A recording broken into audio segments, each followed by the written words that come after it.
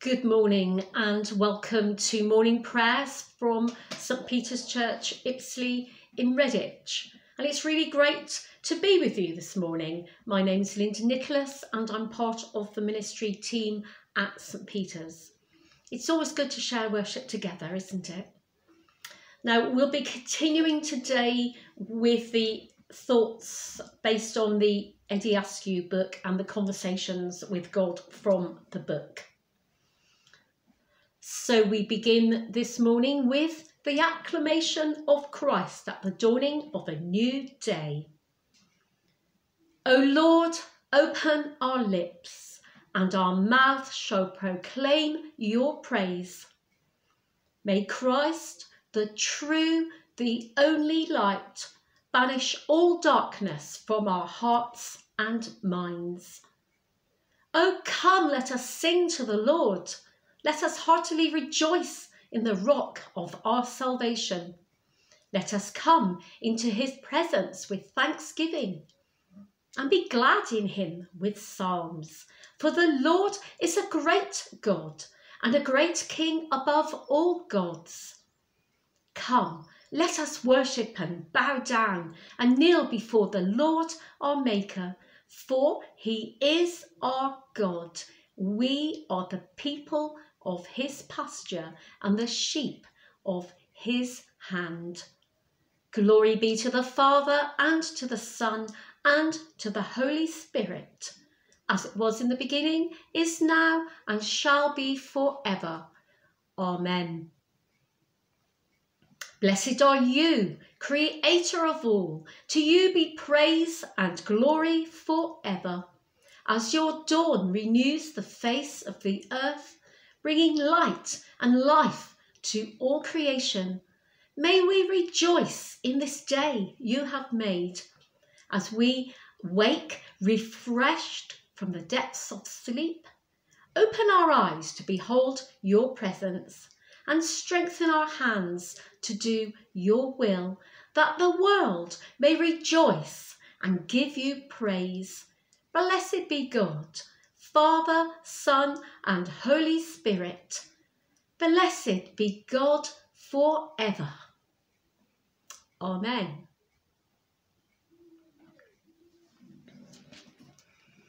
And now we come to the first reading, which is Luke 9, verses 28 to 45. Luke 9, 28 to 45. The Transfiguration. About eight days after Jesus said this, he took Peter, John, and James with him and went up onto a mountain to pray. As he was praying, the appearance of his face changed, and his clothes became as bright as a flash of lightning. Two men, Moses and Elijah, appeared in glorious splendour talking with Jesus. They spoke about his departure, which he was about to bring to fulfilment at Jerusalem. Peter and his companions were very sleepy, but when they became fully awake, they saw his glory and the two men standing with him.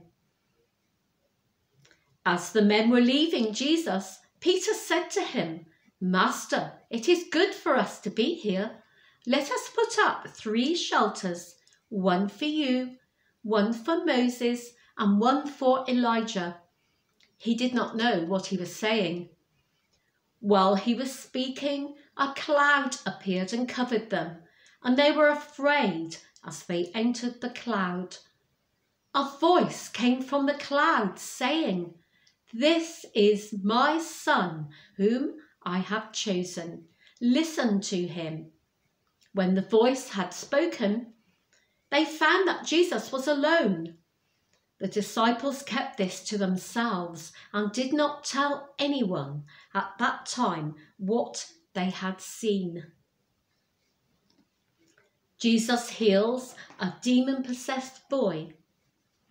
The next day, when they had come down from the mountain, a large crowd met him. A man in the crowd called out, Teacher, I beg you to look at my son, for he is my only child.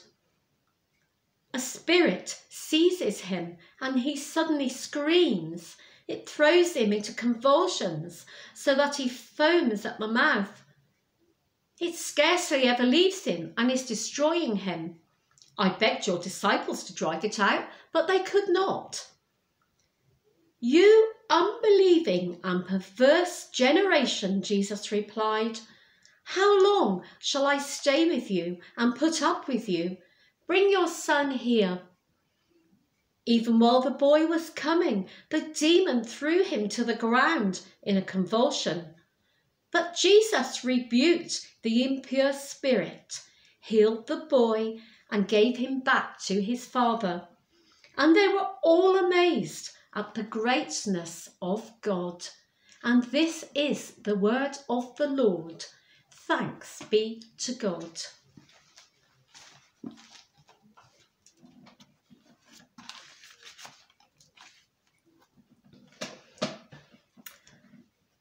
Do you know, some people can walk quietly and calmly into a situation of confusion, size it up, and do something about it. And it's a rare and enviable gift. And Jesus had that gift, he had it. After the exaltation of the experience of the transfiguration on the mountain and the peace of the time in the hills, Jesus was met by a crowd of people. It was a large and curious crowd. Can you imagine the scenes of people pushing and shoving and elbowing all close together, closing in, talking, maybe quarrelling, staring at the Galilean prophet whom they come to see? In the midst all of all of this comes the shouted protest, a criticism of the way his disciples were handling things. A man brings his son who suffers a convulsion the man shouts, Look at my son, your disciples can do nothing. Crowds, noise, heat, criticism, sickness, the disciples helpless, the father disappointed, belligerent. All this going on. But you know, Jesus is competent and in control of the situation effectively translating the love of God into action by healing the boy and restoring him to his father. Jesus was firmly in control of his own reactions too, surrounded by wonder and admiration for what he had done. He gently takes his disciples beyond the immediate, beyond the healing, quietly, revealing the fundamental purpose of his presence with them, leading them quietly up to the cross. Not carried away by success, he shared his compassion in full understanding of where it would lead him.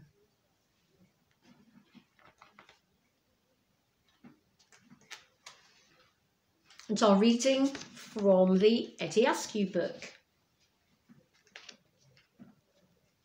Lord, you were always in control. Whatever faced you, human need, suffering and pain, poverty and hunger, doubt and disbelief, anger and hate, the cynicism which says good is evil and twists motives beyond belief. And when people came, anxious, frightened, angry people, not knowing which way to go, you were ready for them, offering love, strength, understanding, comfort, challenge, above all, love. In control, because you saw beyond the immediate. Because your Father's purposes were clear and real. Because everything was subordinate to that.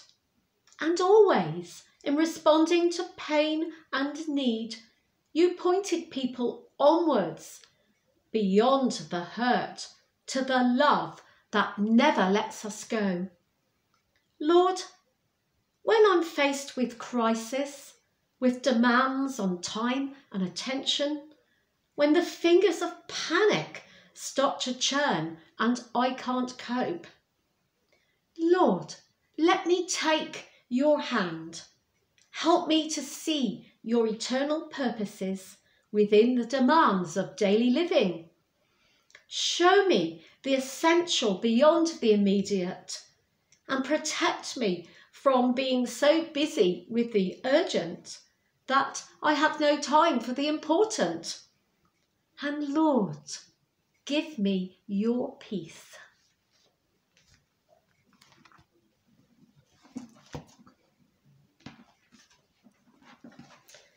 The second reading today is 1 John 1 verses 5 to 10.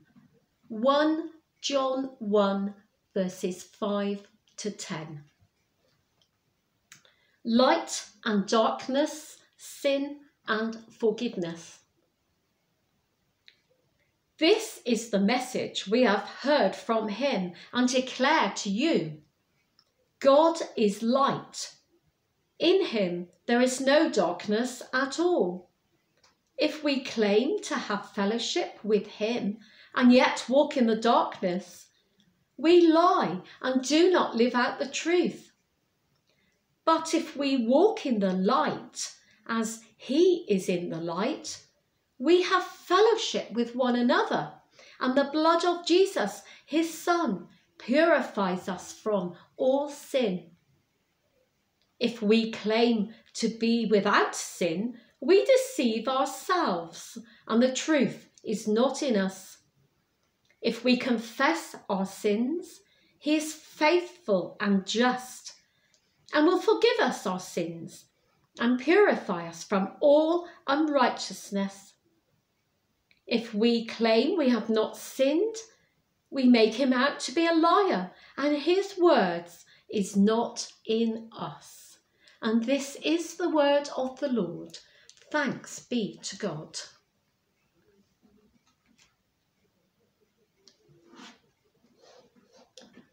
One of the biggest problems in our Christian life is dishonesty, not being true to ourselves or God. I will now hide under the desk until it's safe to reappear. It's really a matter of how we see ourselves and how we face up to reality. Transparency is perhaps the greatest opposing force to selfishness, for when we are transparent with our selfishness, we place a magnifying glass upon the pride in our lives.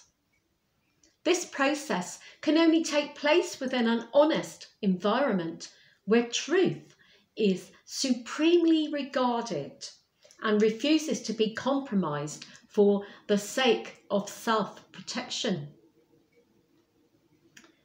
We cannot avoid the consequences of sin when our hearts are hardened and unrepentant. That is the essence of darkness living and precisely the target that John is aiming at in shedding light on our sinful nature. John constantly identifies Jesus as light throughout his writings. He writes of Jesus in his Gospel, John 1 4 to 5. In him was life, and the life was the light of all mankind. The light shines in the darkness, and the darkness has not overcome it from John's first hand perspective, Jesus as the light brings to this dark world true knowledge, moral purity, and a light that shows the very presence of God. God, uh, Jesus does not apologize for the truth that he not only represents, but is the very existence of. Rather, he simply offers salvation to those who might believe in him, as recorded in Scripture. Again, Jesus spoke to them, saying, I am the light of the world. Whoever follows me will not walk in darkness, but will have the light of life. John 8 12. The essence of hypocritical living is found within a double minded person who is torn between God and the world. We cannot superficially walk in the light while standing firm in the darkness.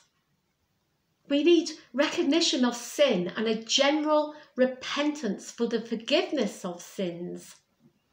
When we are honest to ourselves and God and face up to the life extracting efforts of darkness living and choose to live out God's word through the application of humble hearts, with God's help, our spirits will begin to heal.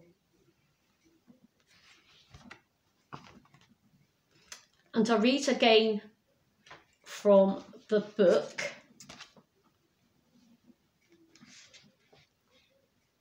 Lord, I don't have to pretend, not with you.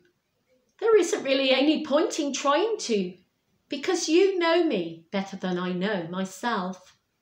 You know all there is of me, the hopes, the joys that come bubbling out when I'm feeling good, the disappointments and failures I try to hide to keep up appearances, the murkiness and mud down there in my subconscious. I like to pretend it isn't there at all but it swirls and drifts up to the surface, polluting the open beaches of my life like oil patches floating in on the tide. Yet you still love me, Lord. I don't know why. The reason doesn't matter. Theologians may explain it, but I feel it and I rejoice. And because you love me, I can be honest. I can admit the failures, the frustration, and all the things that tie me into knots of pain and make me cry out in anger and hate and shame. And because I bring them to you, you can deal with them, with me. It's such a relief, being honest with you, to lose the fear, to know that my honesty doesn't push us apart, but brings us nearer. Because I am loved, I belong. I have a value which no one can take away because you love me with all my faults.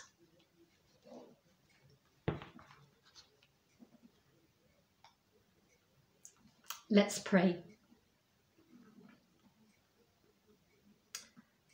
Lord God, as the light from that first Easter sunrise streams from its distant horizon into our own life and time.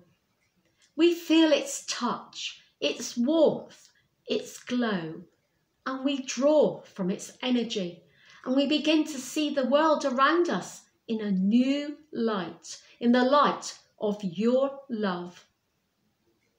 Help us to walk in this light, in your light, May our actions be in step with our belief.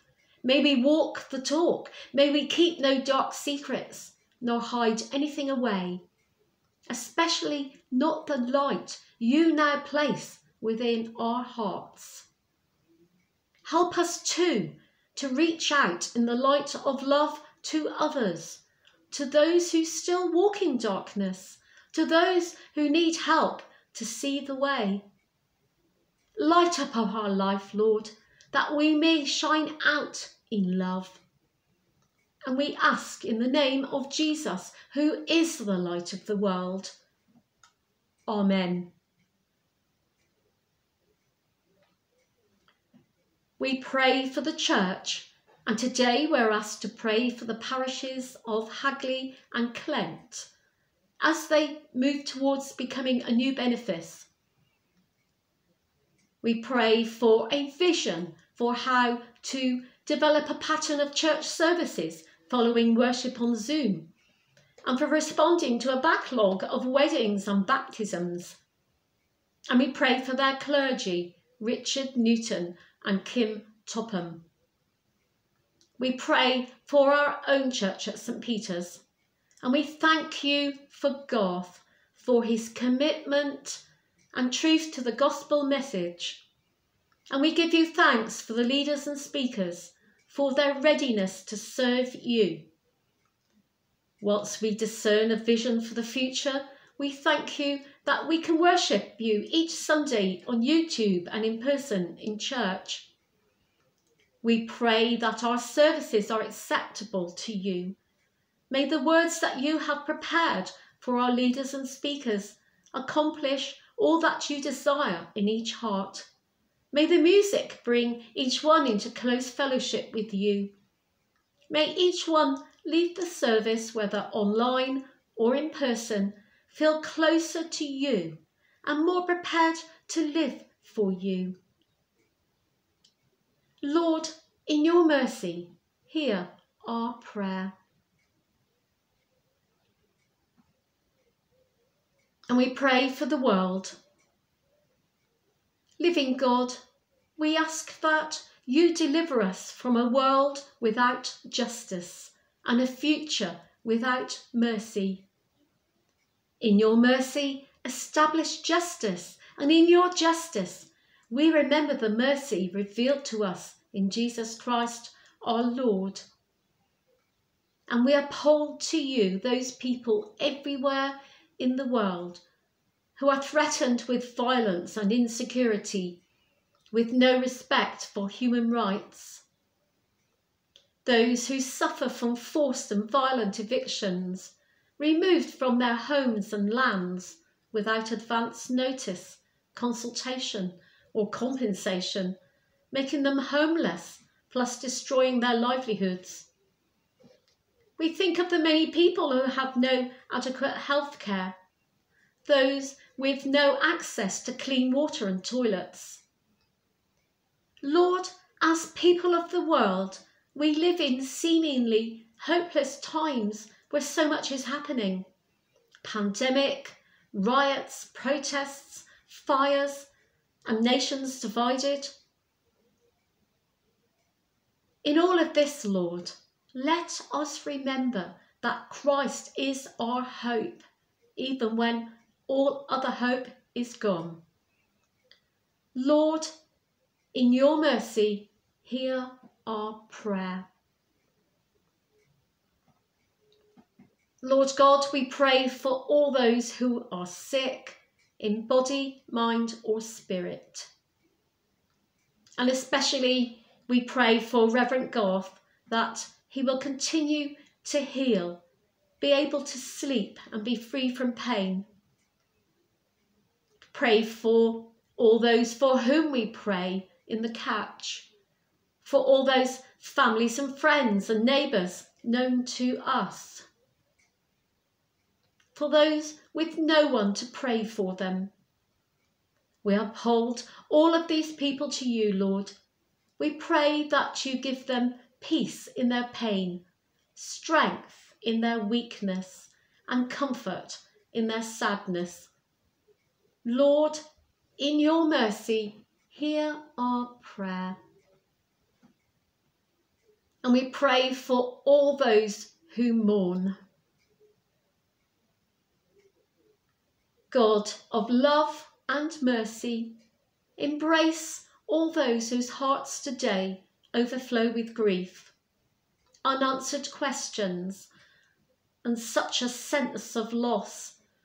Grant them space to express their tears, and we pray that you hold them close through the coming days, months, and years. Lord, in your mercy, hear our prayer. And as we seek to follow you, enable us also to lead others towards you. Shine with the light of your truth upon us, our families, our neighbours, and our friends. Merciful Father, accept these prayers for the sake of your Son, our Saviour, Jesus Christ. Amen.